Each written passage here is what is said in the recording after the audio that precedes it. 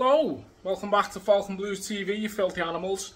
Uh, today I'm not here to talk about Everton, which you'll probably be relieved about. Uh, I'm not here to put anyone on the list. What I am here to do is to share that on the 15th of September, I will be doing a sponsored walk from Goodison back to Kirby. In aid of Dementia UK. Uh, now, Dementia UK is a specialist nursing charity that is there for the whole family. Uh, they provide free life-changing support and advice to anyone affected by dementia. Every three minutes, someone in the UK develops dementia, and there are nearly a million people living with dementia. Um, it's a great charity, um, and I'm, the reason I'm doing this is in memory of my mother Monica, who sadly passed away in March of this year. This is something I've never talked about on this channel. Um, you know, I work in mental health and you should open up, speak speak about things. Uh, so I'm a bit of a hypocrite there, but um, so when this channel first started, it would have been six years ago, my mother had dementia at that point, but was still living a very relatively normal life. She could, you know, you could have a conversation with her and she could go out, you know, for the most part. Now, over the over the, the coming years, especially the last couple, the, the health did deteriorate quite a lot, um, which resulted her being in a confined to a hospital bed in the living room.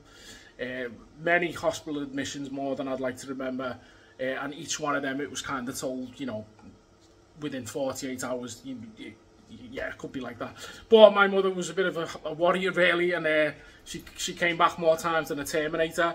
Uh, but sadly, she did pass away in March, uh, and we were very lucky in the fact that we had great carers around us, uh, and me father, Big Stan crew, did a, did saint's job looking after her pretty much 24-7. But there are people who, who don't have that, uh, and Dementia UK did a really, really good job. Um, so uh, there is a link below if you're watching this on YouTube to the Just Giving page where you can donate.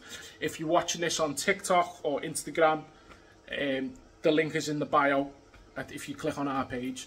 Um, so it is, a, a, it's about six miles of a walk. Um, I'll smash that whether it's rain, snow, hellfire, brimstone, I'll get that done.